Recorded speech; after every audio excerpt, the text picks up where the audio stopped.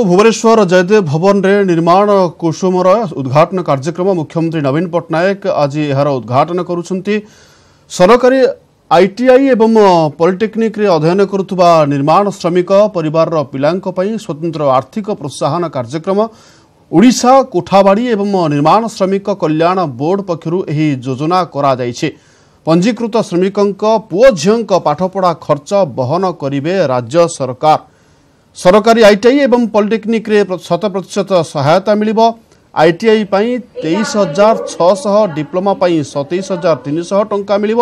ସେହିପରି ଅଠରଶହ ଅଠସ୍ତରୀ ହିତାଧିକାରୀଙ୍କ ଏକ ଦଶମିକ ଶୂନ କୋଟି ଟଙ୍କାର ଆର୍ଥିକ ସହାୟତା ଦେବେ ସରକାର। ଦୁଇହଜାର ଅଠର ଉଣେଇଶ ଶିକ୍ଷାବର୍ଷରେ ଏକ ଦଶମିକ ଶୂନ କୋଟି ଟଙ୍କାର ଆର୍ଥିକ ସହାୟତା ସରକାର ଯୋଗାଇ ଦେବେ। ଆପଣ ଦେଖୁଛନ୍ତି ଜୟଦେବ ଭବନରୁ ସିଧା ପ୍ରସାରଣ। ମୁଖ୍ୟମନ୍ତ୍ରୀ ନବୀନ ପଟ୍ଟନାୟକ ଯୋଗ ଦେଇଛନ୍ତି।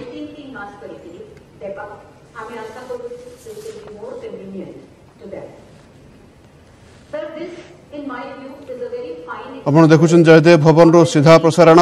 ମୁଖ୍ୟମନ୍ତ୍ରୀ ନବୀନ ପଟ୍ଟନାୟକ ଯୋଗ ଦେଇଛନ୍ତି ଭୁବନେଶ୍ୱର ଜୟଦେବ ଭବନରେ ନିର୍ମାଣ କୁସୁମର ଉଦ୍ଘାଟନ କାର୍ଯ୍ୟକ୍ରମ ଚାଲିଛି। ମୁଖ୍ୟମନ୍ତ୍ରୀ ନବୀନ ପଟ୍ଟନାୟକ ଏହାର ଉଦ୍ଘାଟନ କରିଛନ୍ତି। ସରକାରୀ ଆଇଟିଆଇ ଏବଂ ପଲିଟେକ୍ନିକରେ ଅଧ୍ୟୟନ କରୁଥିବା ନିର୍ମାଣ ଶ୍ରମିକମାନଙ୍କ ପାଇଁ ଏହା ଉପକୃତ ହେବ।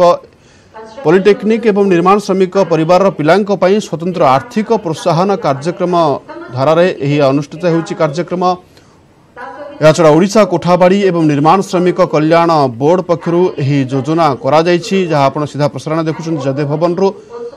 ପଞ୍ଜୀକୃତ ଶ୍ରମିକଙ୍କ ପୁଅ ଝିଅଙ୍କ ପାଠପଢ଼ା ଖର୍ଚ୍ଚ ବହନ କରିବେ ରାଜ୍ୟ ସରକାର। ସରକାରଙ୍କ ଏକ ନୂଆ ଯୋଜନା